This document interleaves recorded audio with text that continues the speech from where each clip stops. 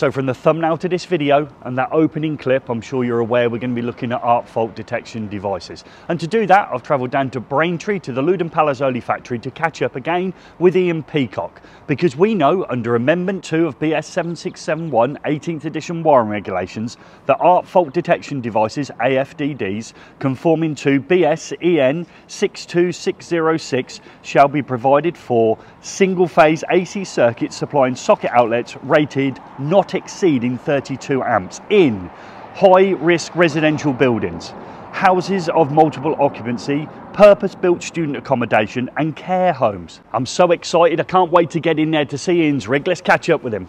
To say I'm excited is an understatement. Now, I've seen on YouTube people in their back bedroom creating rigs that allegedly do or don't cause AFDDs to trip, but your rigging looks way more complicated. It does, Gary. I'm excited to show you this. This is uh, some rigs that we've created to, to demonstrate uh, an AFDD RCBO in operation. This rig is designed and preloaded with an AFDD RCBO and a normal run-of-the-mill RCBO. And we can switch either of those in circuit and connect them to our load device via this switch here. And then we're going to measure load current from our load device right here. Is there a minimum current that will need to be seen through the AFDD for it to operate? Yes, uh, AFD, the AFDD standard, uh, EN 62606, stipulates a minimum of two and a half amps in order for the AFDD element to work. Okay, so and at the top here, this looks very technical. It's a bit I'm looking forward to. Well, this is the clever bit. This is uh, a carbon graphite rod we've got on the left hand side here. Okay, yeah. And then we've got a copper rod here. And we're able to adjust the gap between those nice and finitely in order to create and draw out an arc there. Okay, and that's probably what's not happening when people are creating their own ones at home because they're probably going copper to copper. Does it suggest in the standards there must be a carbonisation? Yes, this is this uh, design is is taken directly from the EN 62606 standard where it stipulates a graphite rod and a copper rod. And the carbonisation in the process would actually be of the PVC, am I right in thinking that? That's correct. As, we've, as we're getting a, a excessive heating on the cable, we're burning that PVC and creating a carbon, and it's that carbon that uh, causes arcing. So now we've got power to the test rig, and we can see we've got the AFDD connected in circuit via the switch here, and the little lights on on the AFDD to tell us it's in its healthy mode. And what we're going to do now is the, the, load device we've got is actually a, just a fan heater in this case, and we're drawing near, near on 10 amps. Okay. So we're going to simulate a series arc fault by adjusting the copper rod. Ooh, yeah. And there we go. Okay, so it's gone off. I can tell that because I'm not getting as warm as I was before. The heat has gone off. Obviously, the AFDD is tripped. Now, they're really clever, aren't they? Because when you reset them, it actually tells you what type of fault you've got.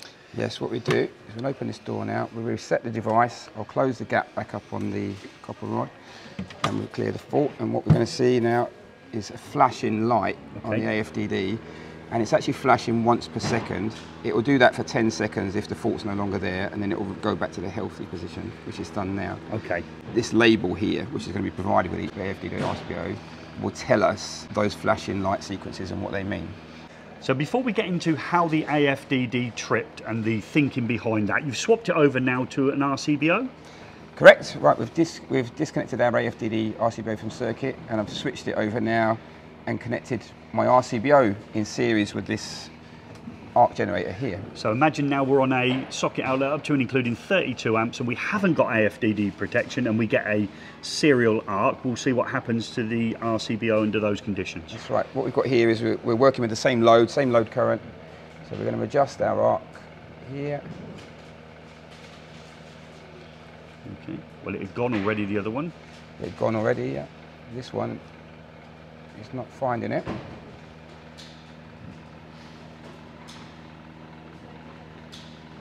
And actually, what we're going to what we're going to see here is our, our carbon rod's actually going to get quite hot now. Okay. It's going to it's going to start to glow wow. red. It's doing nothing that RCBO. So that's happening in circuit. That's right. And nothing's happened to RCBO. So that's that's got a risk of a fire, yeah. isn't it? Yeah. Let's look. You can see there now. We've measured we measured this with a thermal imager actually. We're generating sort of 200 degrees there. Wow. But these these type of faults they can reach up to 6,000 degrees. I've just about recovered from the amount of energy being generated by that serial arc when it was protected by what we like, don't we? An RCBO was protecting our circuit, that socket outlet circuit up to 32 amps. It did absolutely nothing, did it? Nothing at all. I mean, you've got to remember with the series arc you're, you're not going to generate an increase in load current.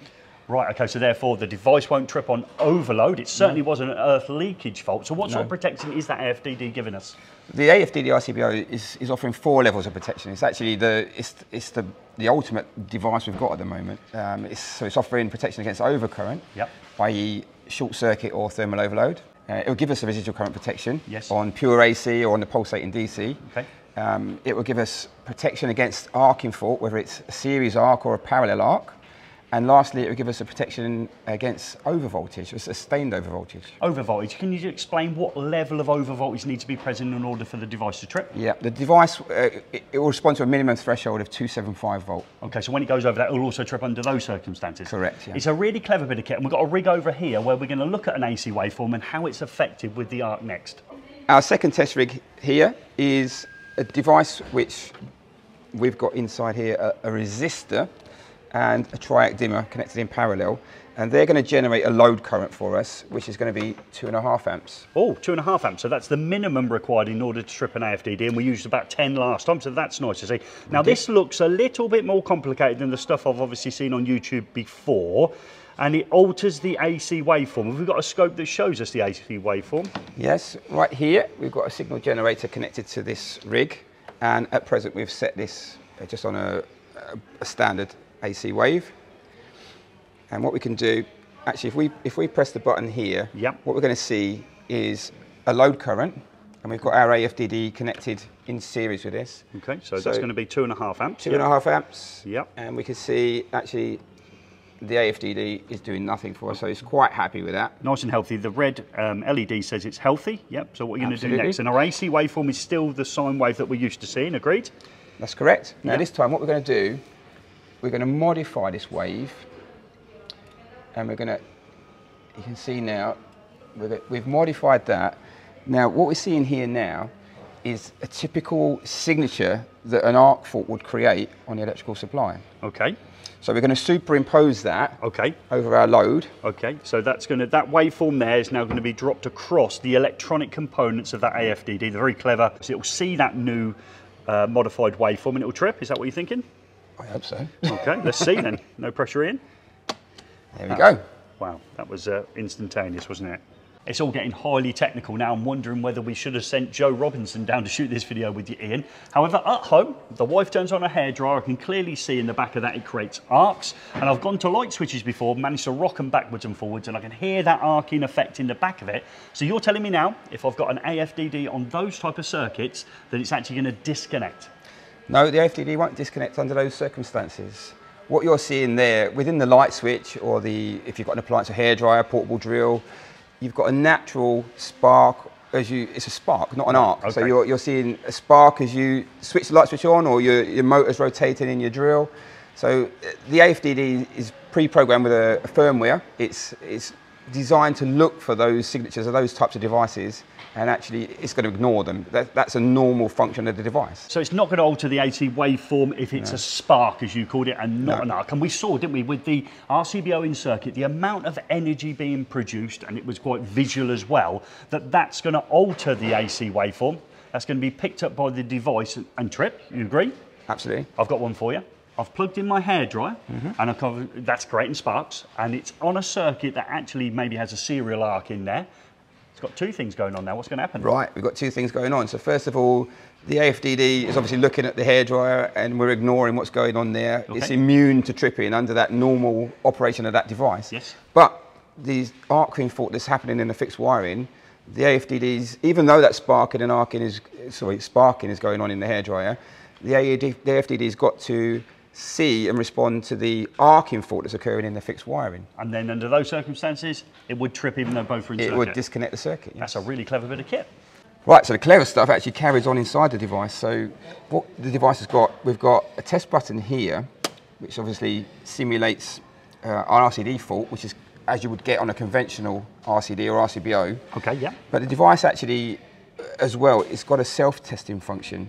So when I energize the device, Yeah.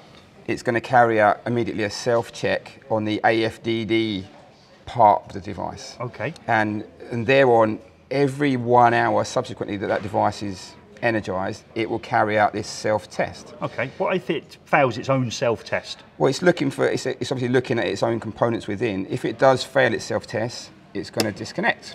Right, okay, and you go to reconnect it, but it's still obviously in Right. failed mode? Okay, so if, if, if I reconnect it, um, what I'm going to see here, if, if the device is able to latch, Yes. this LED will flash at a rate of five times a second for as long as that device stays connected. But ultimately, it will disconnect itself once more.